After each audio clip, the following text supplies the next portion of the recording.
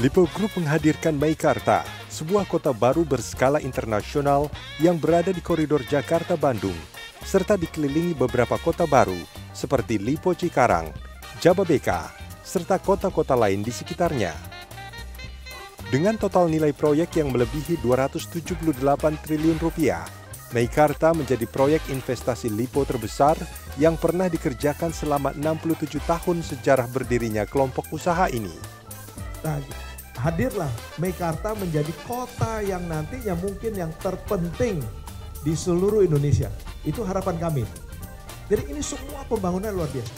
Dilengkapi dengan lebih dari 10 uh, malls, commercial center, satu setengah juta meter persegi, uh, dilengkapi dengan dengan uh, health uh, complex, rumah sakit, dilengkapi dengan uh, kita akan mengajak Universitas Indonesia, ITB, semua universitas membuka kampus di sana dan juga uh, universitas luar negeri membuka kampus di sana.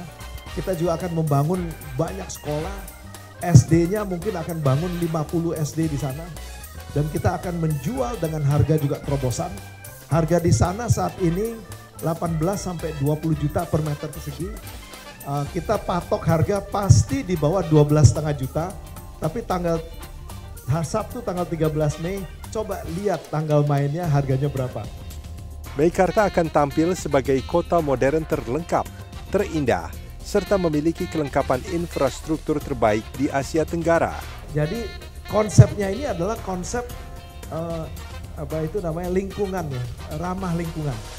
Nah, launching dari proyek ini secara resmi akan dilakukan hari Sabtu tanggal 13 Mei uh, di tempat di uh, Jakarta bagian timur.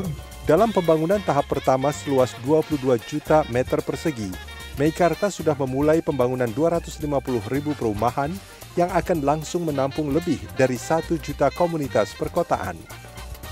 Pembangunan fisik sudah dimulai sejak Januari 2016 dengan dibangunnya 100 gedung pencakar langit sekaligus. Lipo Group akan mulai memasarkan perumahan di Meikarta dalam acara Grand Launching Meikarta pada Sabtu 13 Mei 2017. Bertempat di Maxbox Orange County Lipo Cikarang mulai dari pukul 10 pagi hingga pukul 8 malam.